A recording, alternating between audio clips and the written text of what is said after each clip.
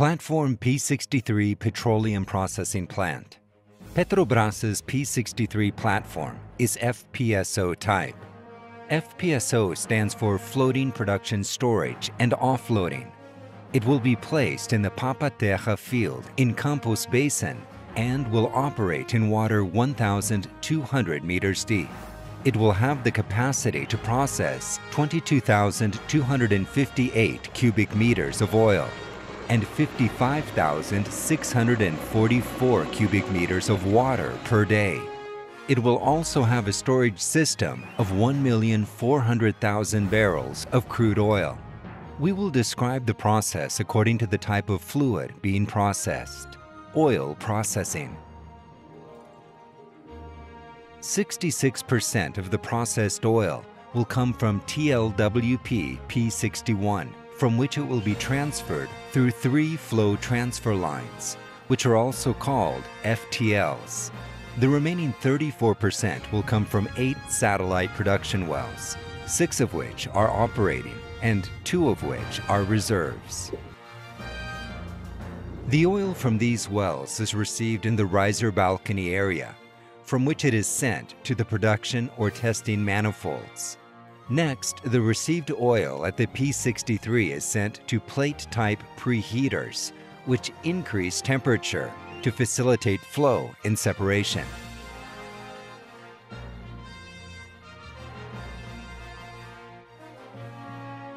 Afterward, the oil continues to a high-pressure degasser, where the gaseous portion is separated from the liquid.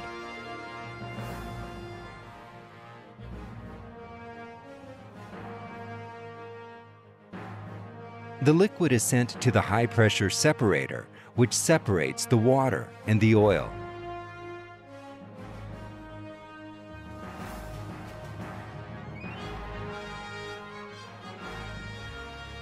The oil is reheated through two types of heat exchangers. First, the oil passes through a plate-type heat exchanger, where it is heated through a thermal exchange with the produced water in the separation process. Next, it goes through a shell and plate heat exchanger, where it is heated with saturated steam until it reaches 140 degrees Celsius which is the ideal temperature for the final separation process. From there, it goes to the low-pressure gas degasser, where the remaining gas is separated from the liquid. The liquid then continues to the low-pressure separator, which works the same way as the high-pressure separator, separating the oil from the water. From there, the gas-free oil continues to the electrostatic treaters, where the remaining water is removed from the oil with the help of an electric current. The treated oil is then cooled before being stored in the storage tanks. Before storage, the treated oil passes through a metering system to verify that it is in accordance with its specifications and then sent to the storage tanks, where it will remain until the offloading ship arrives. The oil out of specifications will be sent to the off-spec tank, where, by settling, the oil will be removed from the top and reprocessed. Gas processing. Gas separated during the separation process is sent to the P63 platform compression system. This system has the capacity to compress 1 million normal cubic meters per day. The processed gas on the platform is used for energy generation and to feed the boilers, lift gas to facilitate flow from the wells, gas reinjection,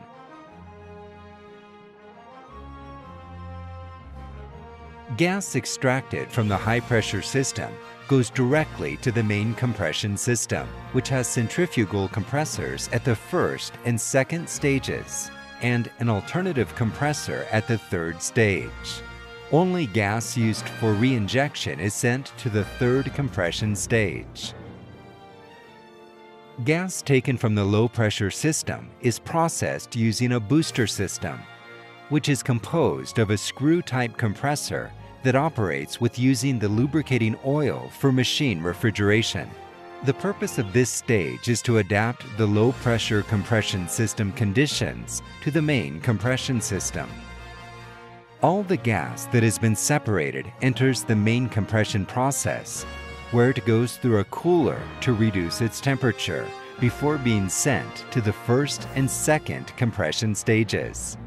During these stages, the gas goes through scrubbers to remove any condensates resulting from the cooling process, and then continues to the compressors. The compressed gas is cooled again in coolers.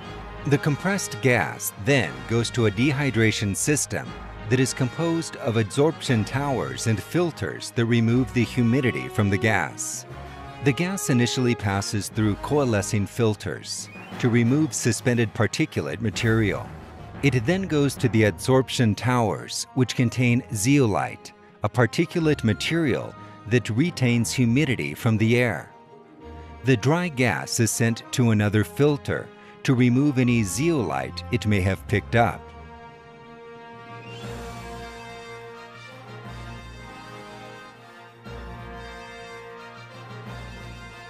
At this point, part of the dry gas will be sent to the third main compression stage, and the rest will be sent to the fuel gas treatment system. In the third compression stage, the gas first goes to a scrubber to remove any droplets of liquid that might remain before entering the main compressor, where its pressure will increase from 80 bar gauge to 300 bar gauge. The pressurized gas is cooled in a cooler and then sent either to a gas reinjection well or a gas lift system. The portion of the gas sent to the fuel gas treatment system is cooled in a multi-stream heat exchanger with its fluid being used to cool the products obtained in the low temperature separation vessel. Before entering the vessel, the fuel gas goes through Joule-Thomson valves, which considerably reduce the fuel gas pressure. This causes gas cooling, resulting in the condensation of the heavy hydrocarbons.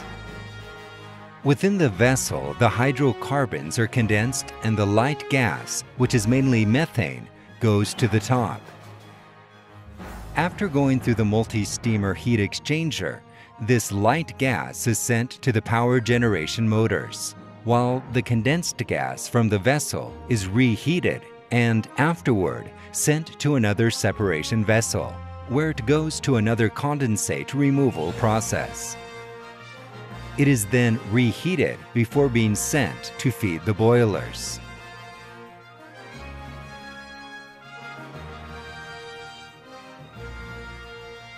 Water processing now that we've seen how oil and gas are processed on P63, let's take a look at how water is processed on the platform. This includes both the produced water and the seawater that is used. All the produced water during oil processing on the platform is sent to the treatment system in Module 51. The water taken from the high-pressure separator is sent to the high-pressure hydrocyclones while the water taken from the low-pressure separator is sent to the low-pressure hydrocyclones.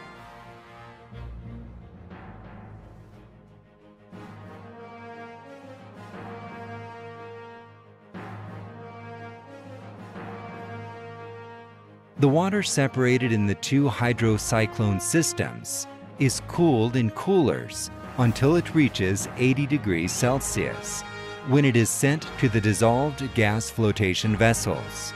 The remaining oil is removed in these vessels. The treated water is analyzed before being discarded. The water must contain less than 29 parts per million of oil by volume. If it meets this specification, the water is dumped into the ocean. If it does not, it will be sent to the produced water tank, where, through settling, the water will be dumped into the ocean.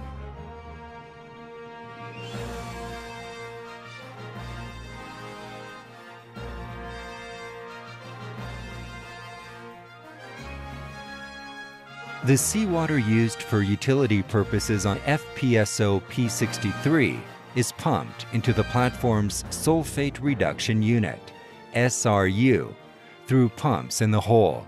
The sulfate reduction unit reduces the sulfate level in the water.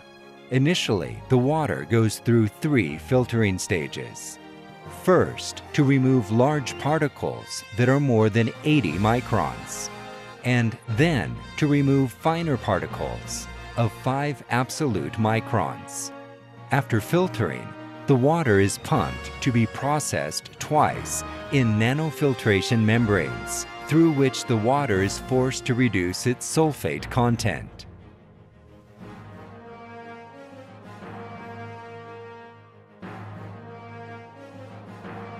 The low sulfate water is sent to the deaeration tower, which reduces the amount of oxygen in the water.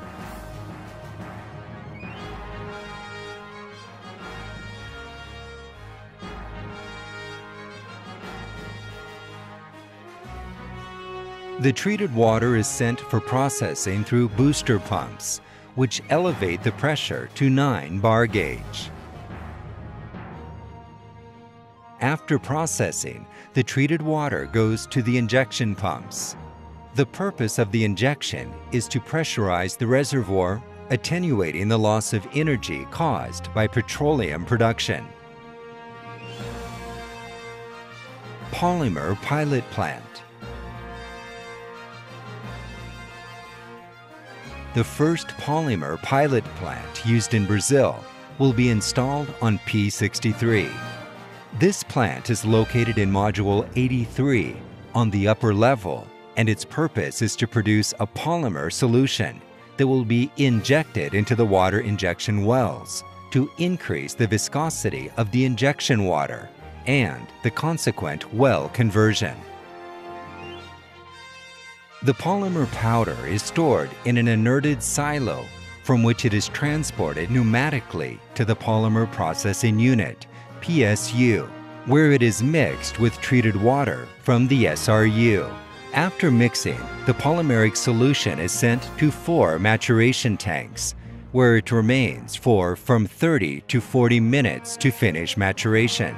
After maturation, the polymeric solution with a concentration of 10,000 parts per million is pumped by a set of two pumps in series, a metering pump and a high-pressure pump.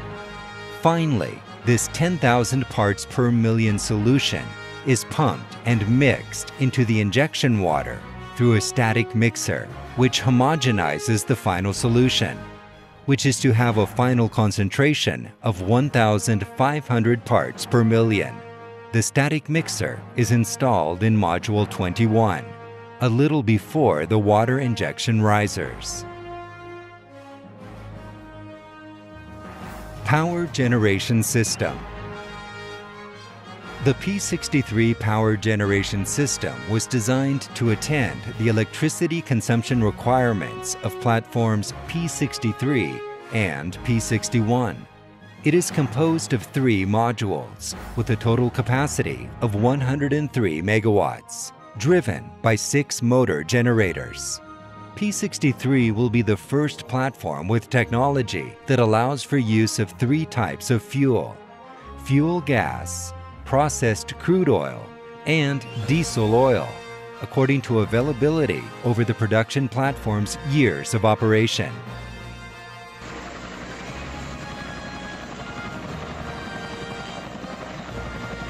Quip on platform P63 becomes the first Brazilian offshore construction company to build an FPSO from the basic design to its operation in its first three years.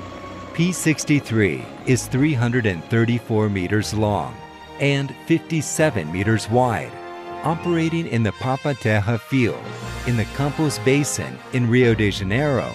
It will produce 140,000 barrels of oil and 1 million cubic meters of gas per day.